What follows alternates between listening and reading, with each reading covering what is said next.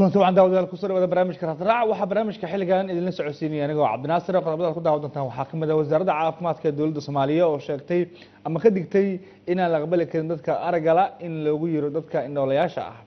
Kadib munaasabad lagu xusay maalinta caalamiga ah dadka dadka aragala oo lagu qabtay ama maalinta caalamiga indhaha oo lagu qabtay muqdisho. Waxaa sidoo kale barnaamijka ku daawan doontaan rabi haddoo gudoomiyaha jaamacadda ummadda soomaaliyeed professor maxamed axmed jimcaale oo ka jawaabay hadal dhowaan ka soo yeeray hanta dhowrka guud ee qaranka isagoona faafaahin dheer ka bixiyey hadalkaasi iyo sida dadka qaarkood u fasirteen iyo jaamacadda jawaabta ka bixinaysa dhanka sharciga. Qodobadaas iyo qodobo kale ay ka mid yihiin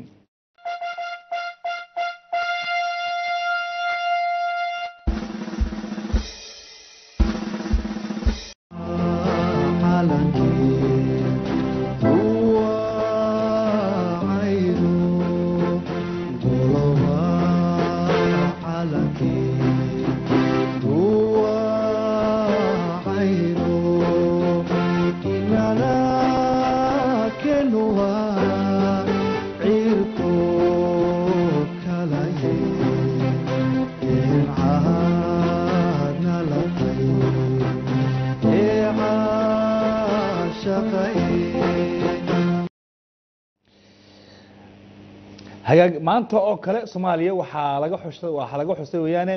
Lixdan waa shan iyo lixdan sano guridii ka soo wareegtay markii calanka soomaaliya laga taagay guud ahaan turaabta soomaaliyeed ama geyiga soomaaliya guud ahaan laga taagay waana laba tobankii oktoobar kun sagaal boqol afar iyo kontonkii. Barnaamijka warbixin arrintaasi ka hadlaysa ayaad sidoo kale daawa doontaan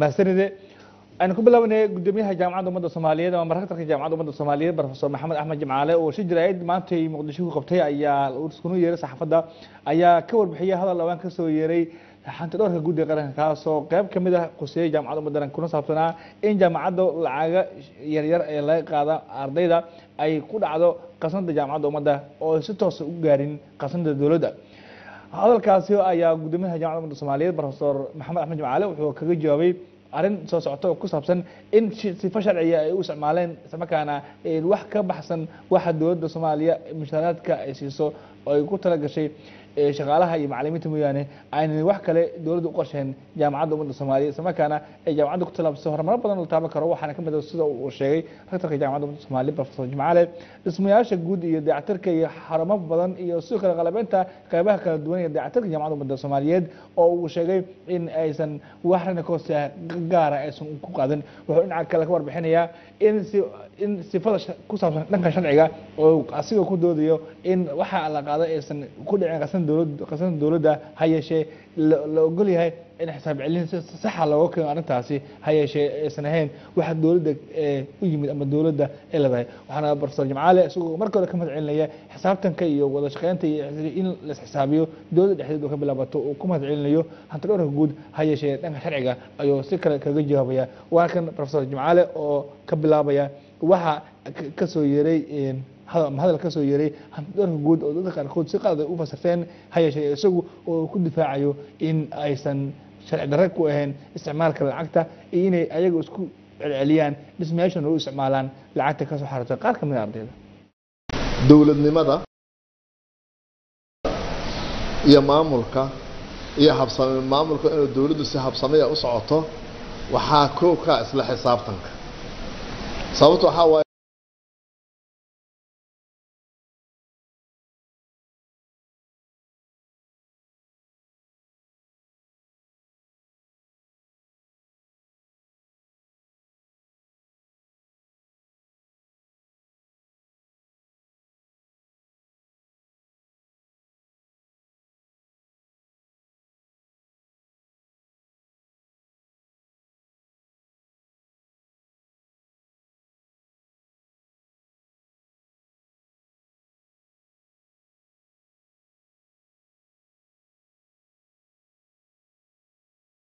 hadda soomaalidana waata tiraahdo bere laba nin kama qosliso mar kasta oo dee muxuu ahaa la garamo ungarta qolo ayaa yeelata. Marka qofkuna in yacni wax walba markay bilow yihiinna waxay leeyihiin kufaadhac ayay leeyihiin. Sidaa daraaddeed maanta waxaan isugu yeernay halkan bal inaan iska wareysanno warbixinta jaamacadda ummadda laga bixiyay siday tahay iyo sida aan isleenahay dadka qaarkii arrintaa iyo koon xodogaalnimo iyo muxuua sida wax u yaalaan aan aada u eegin iyo sharciyadda jaamacadda ku dhintaa aan aada aan u fiirinin ayaa siyaabo kala duwan loo fasiray.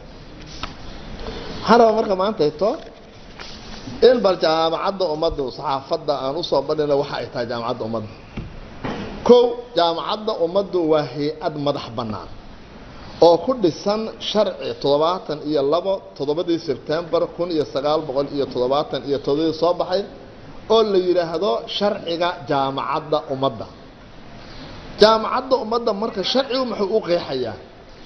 Wuxuu leeyahay jaamacadda ummaddu waxay u jiraysaa wakaalad madax bannaan ahaan iya iyadoo shaksiyad qaanuuni ah leh waxayna u hoggaansamaysaa sharcigan iyo xeerkan iyo nidaamyada hoose ee loo dejiyo. Qodobka labaad wuxuu leeyahy jaamacadda ummaddu maadaama wakaalada hay'adaha madaxa bannaanne sharciyaa u degsan ayakana sharciyo guuda uda hay'adaha madaxa bannaan. Marka sharcigaas u khuseynaya jaamacadda ummadda maadaama la yidhi waa hay'ad madax bannaan. Waxaa la yidhi sharcigan waxa u khuseynayaa inta sharcigan ku qoran oo sharciga jaamacadda number toddobaatan laba ku qoran ayay jaamacadda ummadda uga hoggaansamaysaa qodobka saddexaad wuxuu leeyahay hadday qodobada sharcigan sharciga jaamacadda ummadda loo dejiyey iyo sharciyada guud hadday isdiidaan kan ayaa loo hogaansamayaa waa sharci. Waa sharciga dowladda mataqaanaa baarlamaankii mataqaanaa jira markaa ou saxiixay madaxweyneha u saxiixay waa sharciga jaamacadda waa sidaas intaa markaan idhaahdo marka sidaas waa sida jaamacadda ummadda qaanuuniyan ay u jirto waxaa intaa dheer xuquuqda jaamacadda ummaddu sharcigan siinayo maxaan xaqu leenaha sharcigan wuxuu xuquuq noo siinayaa oo leeyahay jaamacadda ummaddu waxay awood u leedahay iyadoo la raacayo sharcigan amba sharciyada kale oo waddanka u degsan inay ku dhaqaaqdo wax kasta oo u suurto gelinaya inay fuliso ujeedooyinkeeda kuna gaarto himilooyinkeeda. Waa awood kale oo sharcigu siinaya jaamacadda ummadda. Qodobka sagaalaad ee sharciga jaamacadda wuxuu leeyahay xuquuqda jaamacadda ummadda. Maxaan xaqu leenaha wuxuu leeyahay sharcigu jaamacaddu waxay xaq u leedahay inay ardayda uga qaadato canshuuro iyo kharashaad sida hadba uu qariro guddiga sare jaamacadda. Manaa marka waxaan xaq u leenahay ardada inaan kharashaad ka qaadano ayaan xaq u leenahay.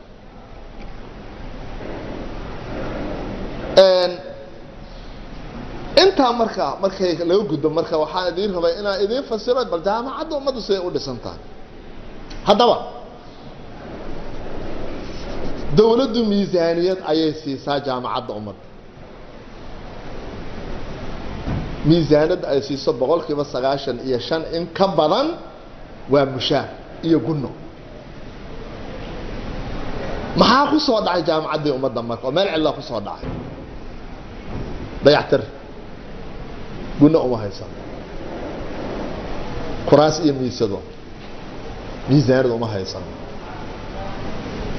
agabka waxbaridda. Ama waxa kan loo yiraahdo mataqaanaa waxyaalaha tasiilaadka wax lagu barto projectoriska iyo kun ay ka mid yihiin whiteboard iyo markers ay ka mid yihiin miisaani nooguma jirto. Agabka waxbaridda oo teaching aids waxaa la yidhahda miisaani nooguma jirto. Korontada biyaha internetka shidaalka wixii ku jira xataa ma helno. Qalabaynta xafiisyada miisaani nooguma jirto. Sii soco sii soco sii soco waxaa miisaano ku jira dayactirka guud. Xaruntan hadda ad aragteen oo sidaan u taalla dowladda soomaalida miisaaniyad ay ugu tala gashay oo lagu dhisa ma jirin. Waxaanu ku hirgelinay waxyaalo yaroo ardada aan ka qaadnay waalidkoodoo na kaalmeeyey shaqaalaha jaamacadda mushaar ay mataqaanaa laga gooyey ayaa lagu hirgeliyey. Xarunta gaahayr oo aan u malaynayo inaad aragteen qaar badan oo mataqaana idinkaana ay tageen aan hubo ayadoo oo bannaan ayaa nagula wareejiyey haddana waxaa degan shan kuliyadood ayaa degan dayactirna waa ka socdaa miisaani dawlad ugu tala gasha ma jirin. Sidaa darteed annagu maadaama aan qaadnay xilka jaamacadda ummadda inaanu hayno aan qaadnay saddex kun oo arday oo dhallinyaro soomaaliyada aanu qaadnay waxaa waajib nagu ah inaan jaamacaddaa socodsiino ayaan ayaa waajib nagu ah waxaa markaa guddigii sare ee markii jaamacadda la furaayay oo alaaday kharashaad yar yara oo qaarkood ay sagaal doolar bishii tahay qaar ay toban tahay qaar toban saddex toban afar ay tahay. Ayaa naloo ogolaaday oo la yidhi qarashkaa bal inta laga gaarayo heer dawladda ay wada dabooli karto. Qarashkaa ardada saarta. Howlahaana ha lagu fuliyo. Marka warbixintaa guud waxaan rabaa inaan idiin siiyo bal xaaladda dhabtaa ean ku sugannahay inaad ogaataan. Intaa ka bacdi warbixinta maalin dhiba soo baxday. Waxay jaamacaddu warbixintu ay leedahay. Jaamacaddu waxay aruurisay lacag. Lacagtaasna waxay isticmaashay ayadoon khasnada dawladda soo marin. Ma wax kalaa ku qoraa ya? Inta ya akriyey qodobka bahalka muxuu ahaay toy saddex iyo toban. Awe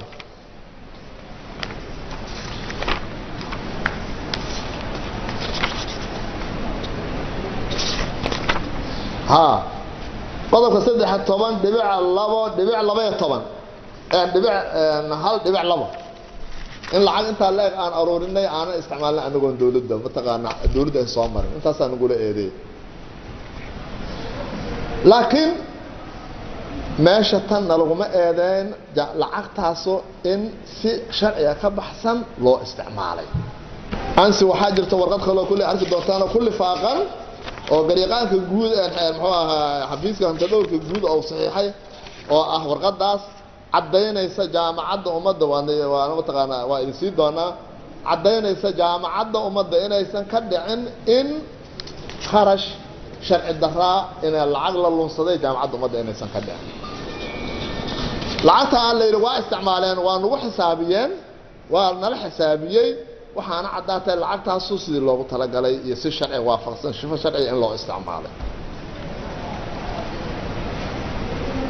Waxaa jira marka laba hay'adoodoo dawladda hadday isku qabsadaan laba sharci hadday isku qabsadaan kolley sharciyada dad kala saaraa jira dawladda kala saaraysa annaga iyo garyaqaanku hadda arrinta honta dhowrka guud arrinta hadda noo dhexaysa waxaa waa lacagtan inaad qabataan. Haddaad qabateen waxay inaad soo marsiisaan khasnada dawladda iyo khasnada dawladda inaan marsiino maahan. Waxaan anagu leenahay waaye ayaguna sharci bay mataqaana haystaan anagu sharciga haysanaa sharcigan ku kala baxaynaa laakiin adiga waxaan idinkugu yeernay in muxuu ahaa mawqifkeena ku saabsan in jaamacadda ummadda waxaa laga yaabaa in tuhmo in la tuhmay. Laakiin tuhmadaa inaan caddayno mawqif cad ka istaagno ayaan maanta isugu keeni yeernay anagu ma hayno meel hanti dhowrkana oo ku yida jaamacaddu lacag bay lunsatay annaguna ma lunsan.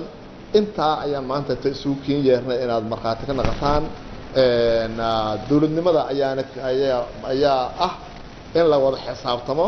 Haddii xisaabtaas muxuu ahaato dee xisaabta ay naaqus naqatana meeshay ka naaqustay in la aado marka warbixintaa gaabanaan rabna admasiinkaas waxaa ahaa raktarka jaamacadda ummadda soomaaliyeed profesor maxamed axmed jimcaale maanta wasaaradda caafimaadka dowladda soomaaliya waxay sheegtay inaan la aqbali karin islamarkaana ayse ka digeyso in dadka la lagu yeero dad noolayaal ah taas oo sheegeen in hay'adaha caafimaadka dunida iyo ama guud ahaan hay'adda caafimaadka dunida iyo hay'adaha gaargaarka ee caafimaadka dunida ee caafimaadka soomaaliya iyo soomaaliya iyo guud africa iyo guud ahaanba dunida odilna la qaatay in dadka aragala aan lagu yeerin dadkii noolayaasha islamarkaana eragaas uu yahay eray xadgudub ku ah dadka aragga naafada ka ah. Haddaba kulankaasi ayay maanta waxay ka sheegeen munaasabad lagu xusay maalinta aragga adduunka oo lagu qabtay soomaaliya qayb ka mid ah oo muqdisho maanta caasimadda soomaaliya lagu qabtay dadkii qayb galay waxaa ka mid ah dhakhaatiir aqoon-yahan iyo sidoo kale dadka u ololeeya dadka araggala oo inaha naafada ka ah.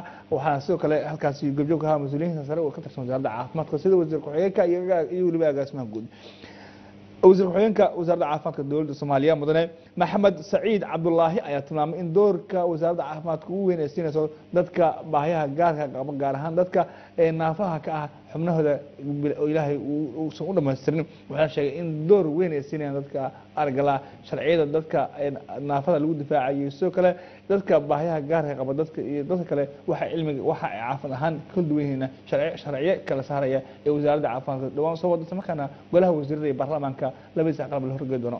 Waxaana dhinac kale uu sheegay inaan aqbali karin in dadka aragga naafada ka ah loogu yeero dad noolayaal ah. Waa kan wasiir ku-xigeenka wasaaradda caafimaadka dowladda soomaaliya mudane maxamed saciid cabdulaahi iyo si gaara ay rin ahaantii ay u mahadsan yihiin. Ahmiyadda aragga kama hadlayno? Ee waxaan ka hadlaynaa aniga dhinacayga. Sidee xaggee baan joognaa? Xaggeen ka dhaqaajinaa? Xaggeen u soconaa dowladnimadu meeshay maraysa waa la socotaan. Wasaaradda inaan isu imaano fariisano oon maanta wada hadalno waxa suurageliyey waxa weeyaan markaan taageernay dowladnimada marka dowladnimada aan taageerno mar walbana aan ka shaqayno sidii hay'adaha dawligana aan aan aan meel u gaarsiin lahayn. Waa mashiin aada u weyn annagoo dhan na wada fuuli karna na wada qaadaya qofkii madaxa ka ah waxba maahan berituu tegaya ee maalmuu joogaya taasi muhiimaddu ma ahan. Laakiin waa in hay'adahan dawliga ah in aan adkayno danteenaa ku jirta danta guud ayaa ku jirta. Marka mar waliba aan ka wada shaqayno dowladnimada inaan adkayno arrintan ku saabsan agaasimaha si fiican u taabtay oo ah waxaaba loo magacaabay unug baaba loo magacaabay. Ayadoo maalintii la magacaabay kadib maalmo kadib aan arkay ismaaciil. Maalinta ku xigtayna maanta ay ahayd saaki aan ku yidhi war intee ku maqleen? Sanad bay soo wareegatay ku dhawaaday marka taasi waxa keenaya waxay tahay waxaa muuqata dadka maanta isugu yimid meesha. Howlaha ay ka hadlaayaan ee arrimaha wax loogu qaban karo aragga inaan wax badan la fariisan baa muuqata. Mise keli keli loo socday maanta waxaan leeyahay haydi noqoto miiskan miiskii ee ee aan ku furi lahayn wadahadalka oo ah sideen qeybtan muhiimka u ah caafimaadka bini aadanka especially haddana soomaaliya aan wax ugu qaban lahayn. Maxaa yeelay aragga waa sida la yidhi lacag badan kuma baxayso awarenesskiisa mise wacyigelinta. In la fiiriyo la arko waa sabuurad yaroo derbigaas lagu dhijinayo lambarada uu qofka ka laga fiirinayo la ogaanayo marka taa waxay ila muuqataa fanku ay u baahan tahay ma garan karo aniga. Haddii dhaqaatiir ay maanta halkan ay nala fadhiyaan oo indhaha ah waxaan idin leeyahay derbiga awalka hore geedaha lagu suri jiray. Geedaha jidadka ku suran intaa ku surtaan aad tallaabaysaan cunug walba soomaalida iskool aadaay mise aa u aragtaan inay wax ka dhiman yihiin. In maxaan idhaahdaa iskaaxu qabsigaasi wax badan lagu qaban kara ila tahay taasina ay suuragelinayso inaan ogaano numberka ee ee dhibaatadan indhaha ee aragga haysta. Marka taasi waa iga wacyigelin oo dhammaantiin in aad soomaaliya ay u baraarugnaato. Maxaa yeelay cudurro ka waaweyn iyo emergencies iyo waxyaalo waaweyn ayaan la dagaalamaynaa.